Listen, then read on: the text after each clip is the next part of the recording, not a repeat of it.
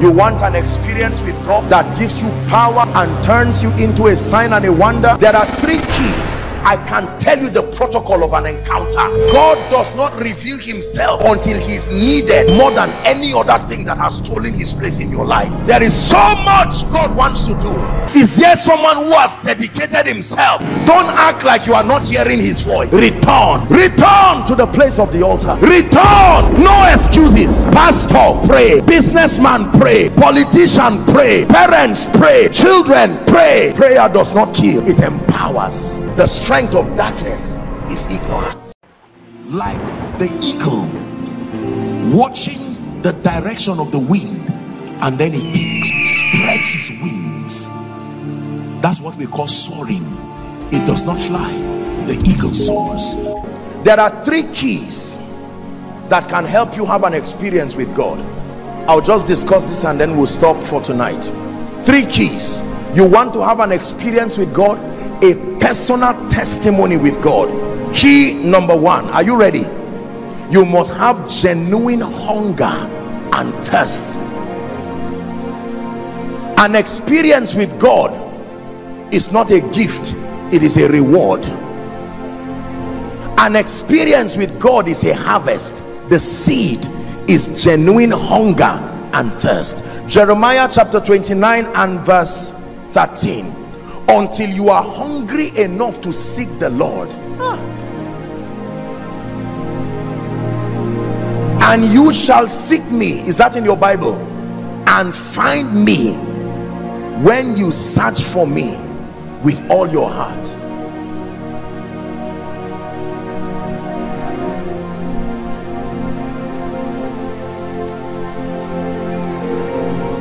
You are the thirst. You are the stream. You are the hunger living deep inside of me. You are the food that satisfies. You are provision for the journey of my life. You are everything. That is the song of hunger. You are everything. Listen, until you seek Him more than preaching, until you seek Him more than ministry, until you seek Him more than ambition, ladies and gentlemen i tell you that i if i don't claim to know many things but this one i can tell you the protocol of an encounter. It starts with hunger. Hunger that is beyond money. Hunger that is beyond fame. Hunger that is beyond revelation. Greek and hebrew words. Hunger that is beyond power. That is the kind of hunger that leads you to an experience with god. Is someone learning already? Hunger. Hunger and thirst. Most believers love god but they love him passively. Matthew chapter 5 and verse 6 blessed are they that hunger and thirst after righteousness. It leads them with an assurance that they shall be filled. I do not know one person who dedicated his life to seek god and ask questions that god did not come through for. I, by the privilege of God's grace I have studied about revivals across this nation the history of the church in Nigeria and across several continents. I have studied revivals in Europe revivals across islands revivals across places. Every major move of God starts when men take him seriously. You cannot take God as a necessary luggage and find his power and his grace. Mm -mm. Mm please someone understand what god is telling us tonight. Some of you uh, after this conference you should go for a retreat. Cancel all these unnecessary ministrations that distract people to keep making a mockery of your christian experience. Lord i need to stay with you. I'm tired of presenting a god that i do not know. I'm tired of preaching a message as a man of god. And going back and discussing with my wife. I hope what i said was right because i'm not even sure myself. Come on now please i'm tired of giving excuses. When people come and say man of god why did you say god bless you and yet nothing changed? I'm tired of lying to them that is because you don't have faith.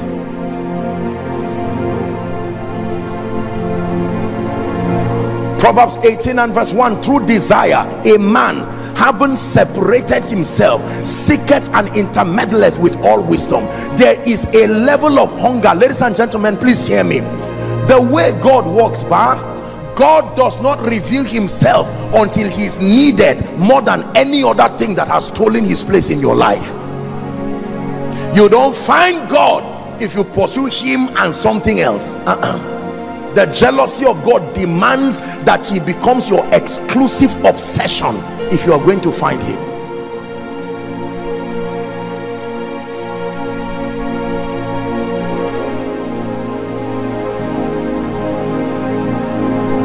will seek the Lord.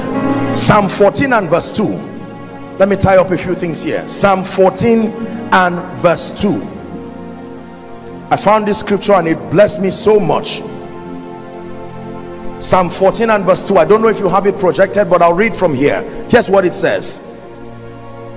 It says they looked the Lord looked down from heaven upon the children of men to see if there were any that did understand and seek God he was looking down. Is there any other someone on earth? Is there someone in Jalingo who needs to see my power? Is there someone who has dedicated himself to say Lord I may not understand you but what I see is not you.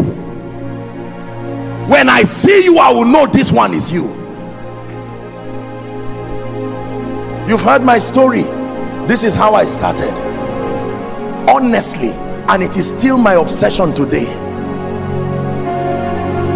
Lord I want to know you more. I confess my ignorance. There are things I do not know. Don't let men clap you into mediocrity. There are still virgin dimensions in the spirit we have not seen. Let me tell you in Bible days those of us today that you clap for would be ushers or in the welfare department the qualification we use for ministry today is what they used to serve in the welfare department. What a spiritual atmosphere. So i don't know what kind of grace the preachers had. I know their secret is found in acts chapter 6 and verse 4 but we will give ourselves continually. Don't distract us with some of these mundane things. We will give ourselves continually. Jalingo there is so much god wants to do. And the lord has placed it upon his lordship to call this convergence and to call us. It's time to stop playing church and stop playing all these things. There are souls going to hell every day while we are giving excuses. There are sick people who are backsliding and going back to shrines. We are telling them stop going to a herbalist and they are asking you what is the alternative don't tell me to stop going to a native doctor when it worked for me for 10 years and you are bringing an alternative that is not working. Let us respect the desperation of men. It's easy to criticize and say this one you are still visiting a herbalist. Give me an alternative that is superior. When jesus came he said repent for the kingdom is at hand. And he saw a woman with a withered hand. He said stretch forth your hand. I have brought the reality of the kingdom let our children not return back to idolatry because we are living in an environment that is not bearing witness to Jesus.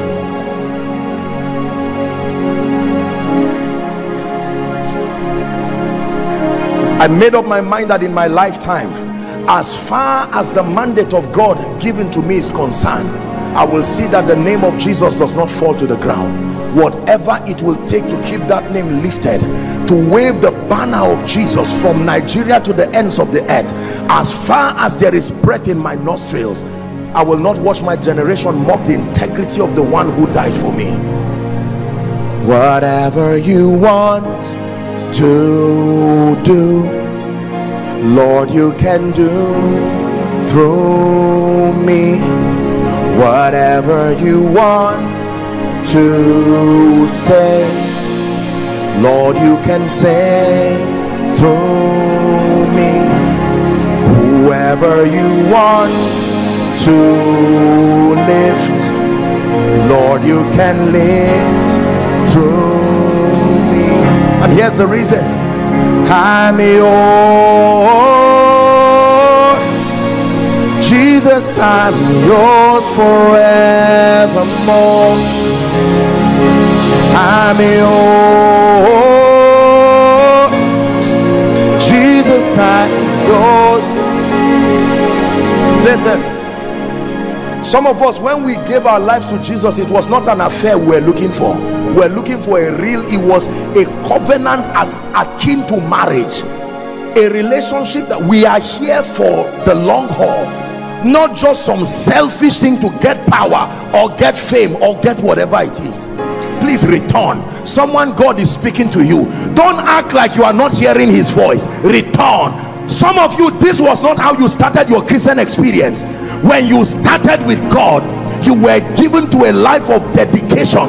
But right now either failure or success all of them can do the same effect negative effect to your spiritual life. Failure can bring discouragement. Success can bring complacency both failure and success if not guided can destroy your life. Hunger. Hunger. Hunger. I'm a businessman from i will just come to church and contribute um, you know when i sense a need that god wants bishop to have a new car i will carry 20 million or 30 million and give and buy him an suv wonderful obey god if he tells you to do but let me tell you the truth. If that is the scope of your christian experience the fire that is coming upon the nations in this end time you will not be able to last. I assure you it is those who bear roots downwards that will be able to bear fruit upwards.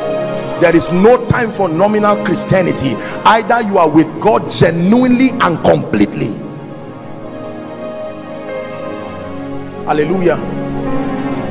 Someone say hunger say one more time. Say hunger. Hunger and thirst. That is the first requirement if you want an experience with god. Apostle but i've been praying for a job and i don't have a job. Now why don't you use the opportunity now? Since you don't have a job you are not engaged somewhere. Why don't you use the opportunity and say lord i seek your face. I know that i may not have that time. Can i tell you as most people you see who are on fire today they started before the burden of family life the burden of children the responsibility of leadership. When they were free the bible says it is good that a man bear his yoke in his youth. Young people let me talk to you. There are some of you who are just getting distracted with on unguarded use of social media. I'm not saying it is wrong but i'm telling you if you don't defeat that demon of social media you will eat up the early stages of your life. You will wake up and find out you are 30 you are 40 no spiritual investment. You will turn left and see three or four children but no relationship that commands power. Use every time to seek god now. Use every time to seek god now. Use every time to seek god with your heart and with your life key number two. What is the second key if you want to have an experience with god? Are you ready? Intense prayer and fellowship. That is the second key. You want an experience with god? Key number one is hunger and thirst. You must hunger for his presence. You must prioritize and value him more than money more than preaching those who are following by way of television following from your home the lord may be speaking to you right now. You are following from nigeria from across africa europe america. Jesus is speaking to you. For many people the language for you tonight is return. God is saying return. This is not how we started. Return. I don't care if you're a preacher or whatever respectfully speaking return to the place of the altar samuel had the voice of god simply because he was lying down close to the ark. Number two intense prayer and fellowship. Jeremiah chapter 33 and verse 3 the bible says call unto me and i will answer. I will show you great and mighty things which thou knowest not. He leaves you with an assurance that if you call I will answer that means God responds to the call that cry of desperation. Oh may God restore the days where people can hold on to. You don't hear it again that people lock themselves for three days praying and fasting not just for things. Lord show me something. Some of you men of God respectfully speaking remember how you started. God brought me here to drum it again. It's not condemnation but God is telling you some of you while you were on campus this was the secret of the power.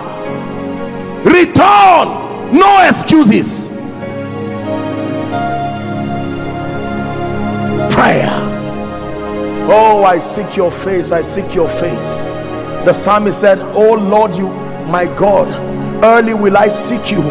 My soul longs after you in a dry and thirsty land where there is no water to see your power and your glory in my life even as I have seen in the sanctuary. Is someone learning? Restore the ministry of prayer in Jalingo again. Restore the ministry of prayer.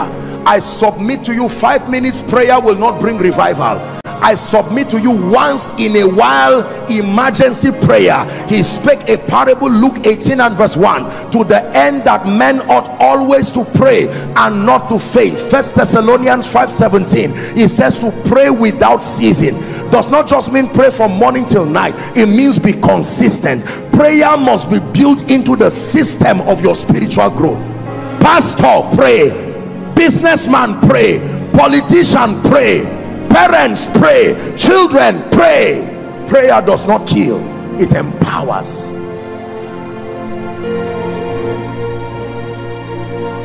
Pray. Pray. One of the major assignments of prayer is to transform you into superior spiritual versions Luke chapter 9 from verse 29 the Bible says and as he prayed the he being Jesus now the Bible says the fashion of his countenance was altered and his raiment became white and glistening as he prayed. Not before he prayed not as he wished as he prayed. You can turn the fearful version of you into the warrior version of you in prayer are you hearing me? You can turn the fearful version of you to a warrior version. Show me a man who is not serious with god. Submit that person methodically under guided mentorship to pray and i show you a wonder working version of that person.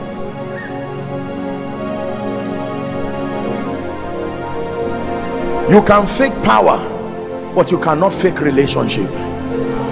If you don't have a track record with god it will show someone say prayer. You must learn to pray. You must learn to pray. Let us restore. Every home in Jalingo should become a prayer altar. It has nothing to do with feeling whether you are spiritual or not. You can start today. How many fathers pray? Fathers if your children do not hear you praying they will not become prayer warriors. Don't say i am too busy. How beautiful is it when children are sleeping and the priest gets up and wears his priestly regalia 2 a.m 3 a.m and you are praying burning that incense of prayer. One day your child will follow you. You will drive him and he will not go back. Then the day you travel the angel of the lord will wake him and he will start taking that position. That i can assure you on that.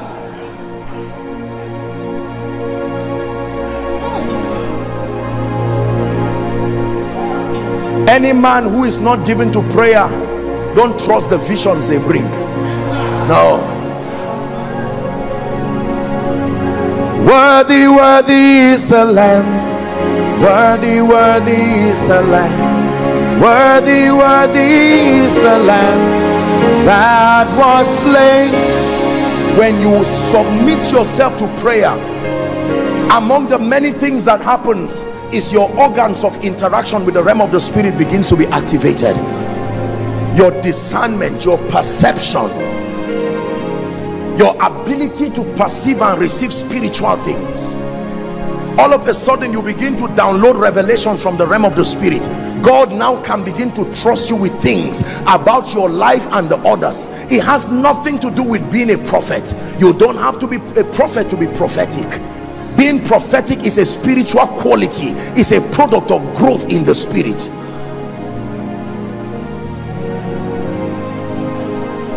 number three.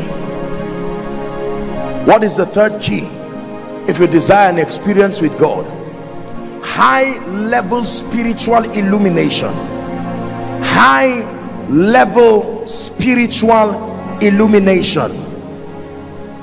The scripture we read initially Job 33 and verse 3 call unto me and I will answer he says. Then when I'm done answering I will not stop there he says I will show you great and mighty things which thou knowest not.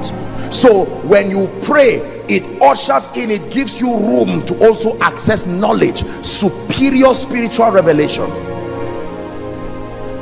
In this kingdom our dominion is at the instance of the mysteries of the kingdom that we understand. Matthew chapter 13 and verse 11 jesus is teaching and he said it has been given unto you to know the mysteries of the kingdom of heaven the mysteries of the kingdom of heaven. Let's read job chapter 29 job chapter 29 follow carefully while i read beginning from verse 1 job chapter 29 beginning from verse 1 this was a man who manifested supernatural dimensions of grace and job is leading us. Is like a tour to explore his spiritual pathway to show us the secret behind him being a sign and a wonder. Are you ready? Pay attention. Moreover job continued verse 1 his parable and said all that i were in the months past as in the days when god preserved me. Verse 3 when his candle you see the secret now? When his candle shined upon my head and when by his light i walked through darkness so there were two kinds of light that job was exposed to in order to be great. The first was the lights that came upon his head illumination. The second was the lights that was up his path direction. You need those two kinds of light. If you have direction without illumination you will still waste your time. The light that shines upon your head and the light that shines upon your path these are the levels of lights that equip you for a life of exploits let's continue. As I was in the days of my youth when the secret of the Lord was upon my tabernacle when the Almighty was yet with me when my children were about me verse 6 it says when I washed my steps with butter and the rock poured out oil out rivers of oil. 7 when I went out to the gate through the city when I prepared my seat in the street we're reading to verse 10 the young men saw me and hid themselves. Because of the level of results the effulgence of the possibilities of the spirit that emanated from him. The aged arose and stood up. The princes refrained talking and laid their hands on their mouths. The nobles held their peace and their tongue cleaved to the roof of their mouth. What a man. Job said you see all these exploits? Behind them were these mysteries. The secret of the lord was upon my tabernacle. It was by his light upon my head and his light on my path. Thy word oh lord he said is a lamp unto my feet and a light to my path. There cannot be dominion in ignorance there is a relationship between knowledge and power knowledge and dominion. This kingdom is a kingdom that operates by light. The bible says god made many lights but he made two great lights. And the first light to rule the day and the second light to rule the night. All lights rule whether it's in the day or the night. Light has always been associated with dominion. The people that sat in darkness have seen a great light is that true? Isaiah chapter 60 and verse 1. KJV says, Arise, shine, for thy light is come, and the glory of the Lord is risen upon you. Amplified says, Arise from the depression and the prostration that circumstances have kept you. Rise to a new light.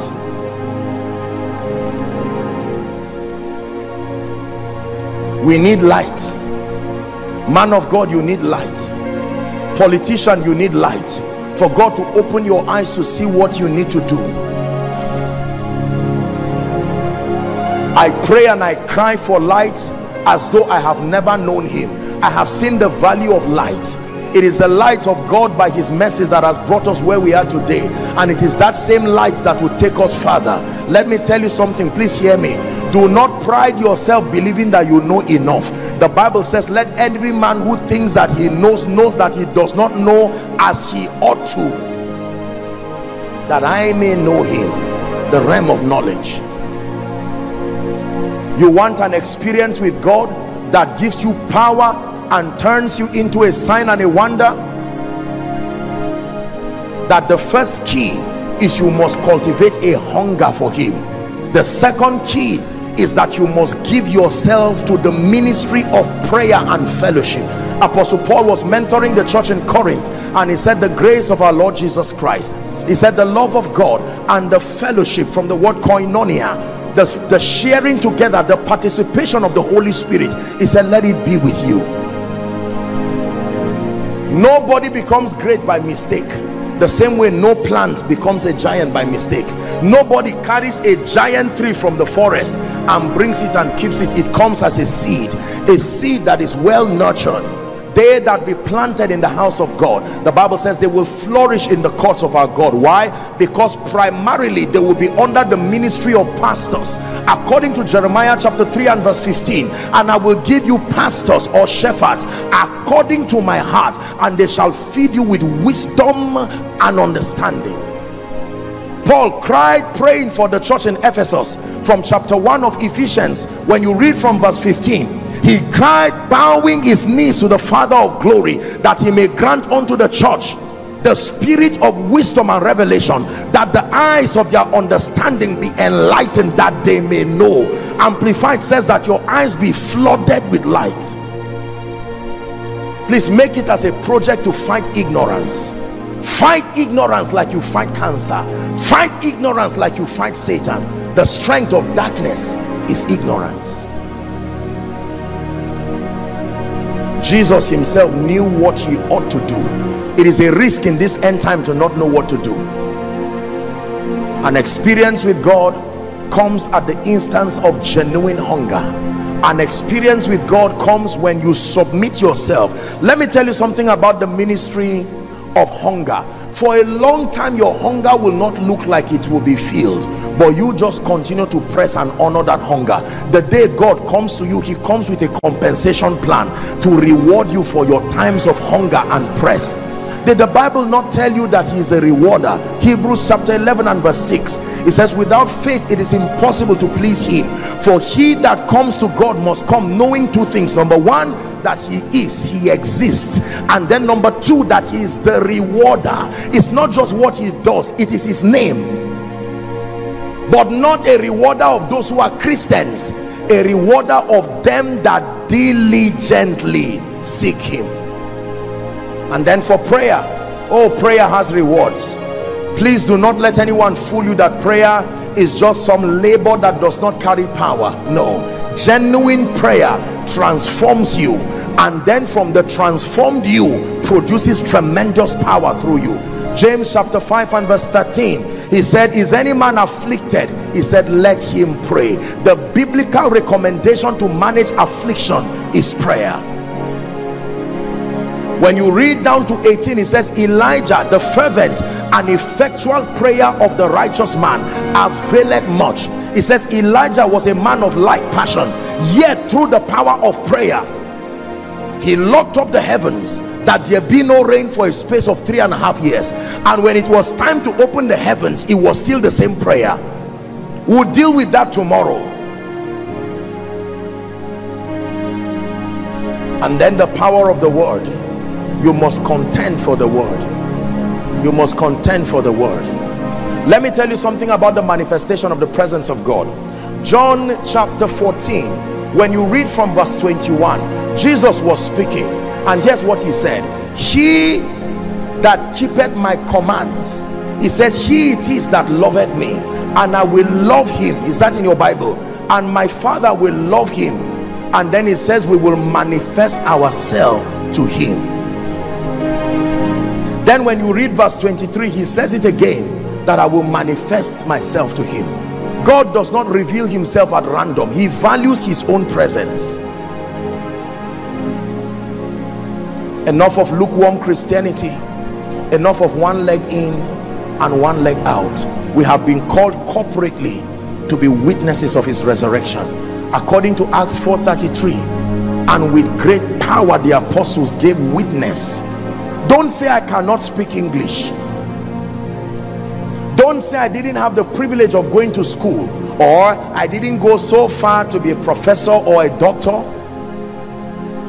In as much as all of those provisions are advantages but i want you to be sure that for everyone who is available god is more than willing to make you a witness.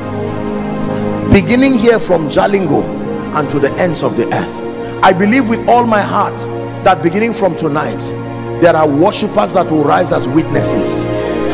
There are businessmen who will rise as witnesses. There are preachers who will rise as witnesses.